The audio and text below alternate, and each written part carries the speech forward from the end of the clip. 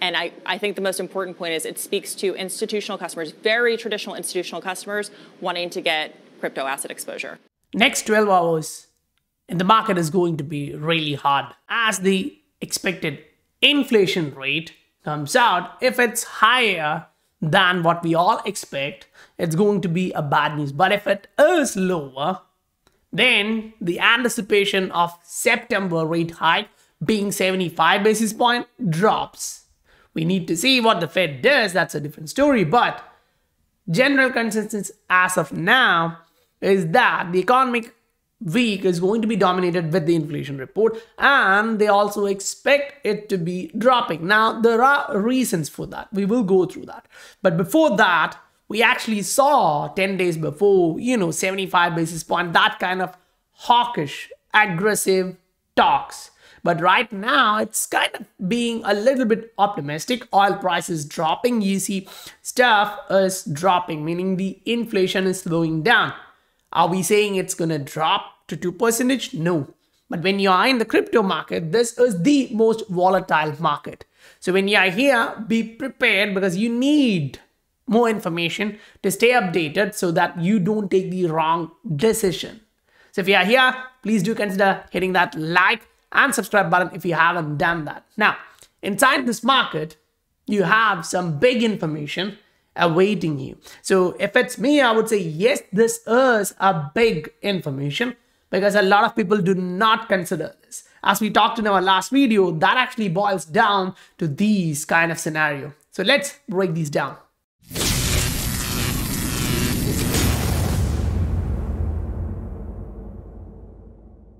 This is the scientific investor family, where the regular guys in crypto learn how to become the next top 10 percentage, top 5 percentage. So let's actually look through this and understand like, okay, what really is happening.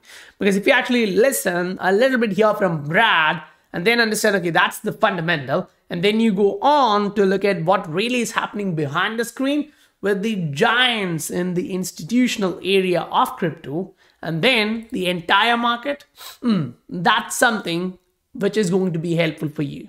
Unfortunately, I think that percentage, particularly in the recent ICO wave, I think that percentage is a very high percentage. I think there is going to be uh, carnage to be had from that. And I think what, you know, Grant is more smarter than I am in many ways, not the least of which is on the law. But, you know, the ICOs regulation around the SEC regulation around securities are designed to protect investors now you need to understand that idea of a carnage coming into the market is completely true because you now have thousands of assets inside this asset class, tens of thousands, and you really don't know which one has a utility, which one solve some kind of problem, and why some of these assets are still there, right? Today, when you look in the market, you have hard decision to make. But before you go do that, I'll actually give you this point. Now, this is one of the core element where you can really make a lot of money without the whales, institutional whales, interfering in your business. If you see a company, especially we tend to see them with small caps, those small caps tend to have not a lot of institutional ownership and that and that makes them interesting because they tend to be off the radar because institutions large institutions usually can't invest in them anyway and so you so keep in mind when you have a lot of volume, yes, you do have a lot of volume. That's actually a good news. But the institutional guys like JP Morgan will be there definitely to manipulate you. Now, I'm not saying all these small caps are safe. I'm saying institutional guys would be much lower in terms of percentage. But you also have whales in Ether, BTC, and other coins who can literally use a decentralized exchange, move and buy, sell any other coins and shake the market. So you should be prepared. When we have such an economic week, you need to actually understand that's not the entire story. Yes, that's for this week, but not for this cycle. I have wanted to do that BlackRock partnership since the day I joined Coinbase. So for this to come together now, actually during the crypto winter, is such an incredible testament to where we are, where they are, where their customers are. And I, I think the most important point is it speaks to institutional customers, very traditional institutional customers wanting to get crypto asset exposure. Now that, for me, is super bullish for crypto market. If traditional institutional investors are looking for an exposure here, they do understand the market is going to go higher. They are not thinking that the market is going to drop another 50 percentage. Rather, they are looking for upside because that's the only reason why you buy. You can sell for various different reasons, but when you buy, you buy because you think the market is going to go higher, right? Here, in XRP and Bitcoin, what you are looking at is the market is slowly bouncing, but the difference is right now, it's Bitcoin slowly dominating in the market. Great. When Bitcoin is bouncing, remember when Bitcoin dropped, it was really hard to say whether it's going to go up, whether it's going to go down. And we did talk about this scenario, right? That's a support and we are going to bounce. And as you go through that, I would personally say, okay, look at this.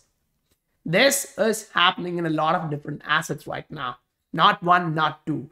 But when you are in this market, you need to also make sure there are some utility behind it. So when you look at this, it's Hedera. And for me, I'm looking at this and I'm like, okay, that's something changing technically, and it's a fundamental asset. So for me, I'm like, okay, uh-huh, it's actually preparing for another wave cycle to the upside. Great. Now, is that the only asset in this market? No, you have a lot of other assets trying to go higher, which is actually getting more volume compared to last week, last month. And that's a signal of how the market is going to evolve. So now when you look at the general altcoin dominance, now you're like, okay, what really is happening? I'm not sure. Don't be that confused guy. We are all human beings. We all get confused, but try to dig in more and get these data. Here, what it's actually showing you is it consolidated before the breakout. Fine. Here, it broke higher with a little bit of consolidation. So I'm expecting a retest. But the issue right now is that retest in terms of the numbers here, you are coming almost back down. But you have a little bit more room in the RSI to retest. So you may actually get another fake out going to the downside, touching the moving average and bouncing. So what does that actually mean for Bitcoin dominance? Because that's going to be another important choice to see. Bitcoin dominance has already slowly coming back up. It tested the 20 moving average and I'm like, okay, it's still not closed. So we are literally waiting to see like what really is happening here because as of now, it shows like a lot of money is flowing into Bitcoin. Mm-hmm. Great. You just heard institutional guys are there and they are becoming heavy. And when they go heavy, they need volume. They're not only looking at Bitcoin, it can be other Bitcoins, top five, top 10 coins here. Agreed. But at the same time, you have a lot of opportunity in the small caps. Not saying put 100% of your portfolio in that area, but if you focus, you can get some higher odds in terms of the returns. Fine. Now we go into the XRP chart. You want to actually look at the XRP and see like, okay, what XRP is really showing you because it is bouncing and is trying to make a rounded bottom. You are in a consolidative range, all agreed. But right now, when you actually go on a four hour chart, you know, you are not saying like we are going down. For me, I'm looking at this and I'm saying like, okay, this for me look really like a bull flag where your momentum was to the upside, you consolidated here, bursted. Now we are consolidating here, starting to burst. So as soon as you go higher, you know, these are like the normal basic stuff in the technical analysis. You see another 9, 10 percentage hike after the breakout. So the price is going towards 0.4 and that's a 4 hour chart. Agreed. When you zoom a little bit back out and ask the same question, okay, do we have a lot of resistance before that 0.4? Yes, somewhere close to 0.38 we do. So if we are breaking this, now that is a great news. One, now, that's a horizontal support trend line. Now, if you actually try connecting these resistance to see where it goes, now it comes to 0.4. So that's where the advantage of technical analysis comes. You can literally anticipate this move. Mm -hmm. If you are trading, you can buy here, you can sell here for a trader. If not, you don't have to go through that noise in the market, getting stressed out, pushing that cortisol into your brain. You don't have to do that. What you are generally looking at right now if you are holding XRP for a long period of time, It's like, okay, when will this go up? Fine. We all feel the same. But what we want to see in the market is a bounce here, a breakthrough, and reach the level of 0.5, 0.6. But it's not over because that's going to be another level of resistance. But what we can say is that the market is showing you a signal here where this is your long-term trend. So if you are breaking here, that goes back to what we just saw in Hedera. That broke higher, great, the price is climbing. So you are at that verge where you can break higher in terms of XRP. Now, so I've seen like, you know, members asking like, okay, can you actually describe some about Cardano inside this? So if you are looking at Cardano, I'm like, okay, this is clear that a price is actually trending to the downside in a channel. Great. Now, if you go to Google just to see like, okay, falling channels, you can easily look at this and say like, okay, this pattern usually gives a break to the upside a continuation pattern to the upside. Now, this is not generally one-off. Whenever you go, you see the majority you most likely see that things are happening like this. So when you go back there, there is a huge possibility you're going to do that. Why? The RSI, you're trending lower, you broke that one. And at the bottom, before you did that, this was your support before, agreed? Now that turned into a resistance and this is your accumulation rate. So if you are looking at another technical, now everyone has different style. This is showing you a rounded bottom and rounded bottom at this side is low, here your momentum increases. So the volatility will be higher, agreed, but that's not showing like this asset is going another 50% down. Now, if another whale decides to dump, that's a different story. But technically speaking, you are near the moving average and resistance. So as it breaks higher, you expect the market to come back and test this level of a dollar. So that's a 100 percentage move to the upside as a probability. Fine. Now we go on to the XRP BTC because BTC is going up. You really want to see like, okay, did all the bullish stuff happening on BTC pairs for alt die? As of now, no. You broke higher, you retested, bounced, then, you know, things are happening like this. But you came back lower to this level and you're holding there. That's what's more important for me. Because as I zoom out to look at the RSI, this is what you're trying to connect. And I'm like, okay, that's the support range. The RSI is to support, the price is to support. Uh, mm, uh, right? Most likely you may have a bounce. And that's actually good in terms of a short fluctuation. But when you actually zoom out, take all of this out to see, you are still here. You bounced from this level and this was your previous level of support. Now you are staying above that support. So this happened to be a fake out where the price got rejected with a big long candle. So that for me is actually bullish. Now the issue you know is yes the SEC case is slowing down. We don't have a lot of retail investors here mainly from US because you don't get this asset in a lot of big exchanges. Great. Now when you come into the market you do see like okay there is a lot of different stuffs happening. You are getting this issue in the market and you know a lot of different opinions are there it's going to 40k it's going to 60k whatever. I think we are trying to test 30k first right? But i don't actually think now i completely respect tony and he's one of the youtuber you know i used to watch way before i had a channel. I respect him completely but what if we are breaking 40 what if we are going to 45 50 55 no one knows right? No one knows. So I would more likely lean into an area where, yes, we may go higher, but I don't actually think you are dropping because in that narrative, the difference here is if you are saying, okay, we are testing 30 and getting rejected, okay, that's a possibility. That was your long-term support here. Mm -hmm. You held that, you broke that, great. You retest and get rejected, fine. But if you are breaking this and going higher, towards 40, now the odds are much towards the bullish side. You can say it's 70 percentage. If that's me, I would say like that. Why? Because when you break through this range of 30, it's not only the downtrend channel which you are actually going to break, it's also the horizontal level. So now you do have different measured moves to actually look inside this market saying, okay, this channel is broken. And what's your measured move? You can say like, okay, there is a possibility of 100% move after the break, which is like, you know, you're going all the way towards $60,000 Bitcoin. So uh, technically speaking, there is room if you are breaking 30K, fine. So on the RSI side of this, you are trying to see like, okay, we are at that range where we are breaking higher. We are at that range. So if you see that price action coming in to this, it's like, okay, you break the moving average, move above 24,000, and that makes this range a perfect double bottom, which we talked way before.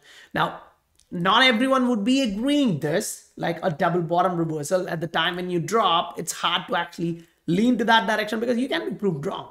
Now, this is the market, right? No one knows what's really going to happen what you're trying to do is to anticipate based on the macro. At least that's what I'm trying to do. Now, yes, microeconomics does work, but in the current situation where you know the central banks are leaning towards interrupting everything, I'm like, okay, that's macro. That's a macro factor. If you are looking at economics, you'll say like, okay, that's macro.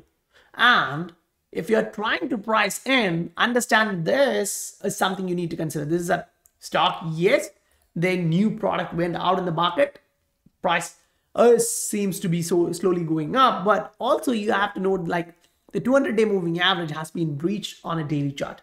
So you're still trying to trend higher, but you do have resistance, which you have to break, agreed. But the RSI suggests you're breaking higher. You have the odds to the upside.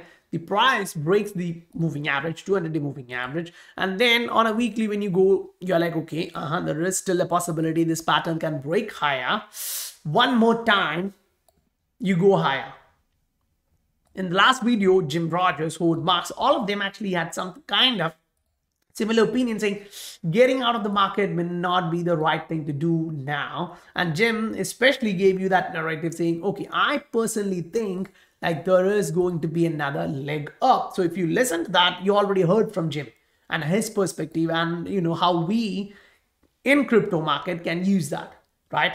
So here inside this market, yes, we are going to see a lot of volatility. You're going to see a lot of small coins running here and there. And oh, at least I'm happy to see XRP here. Now, that's not much in terms of the movement. When you see H bar, Raven, and others are doing much, much, much better. But yes, you have the back wind coming in, and that's what we are all waiting for. So when you actually zoom out for Bitcoin on a monthly, this is what you're observing. You had a month where you tried to go up, then that got raised. Now you're slowly going back up. So if you ask me, I would say like, okay, you zoom in and you just take a horizontal ray, put it here. Now that's your monthly open close range and this is the previous one. So if you are getting rejected, bounce from here, put a new higher low. Mm -hmm. And if you break this level of 23, 24, I'm like, okay, there is something changing in that direction.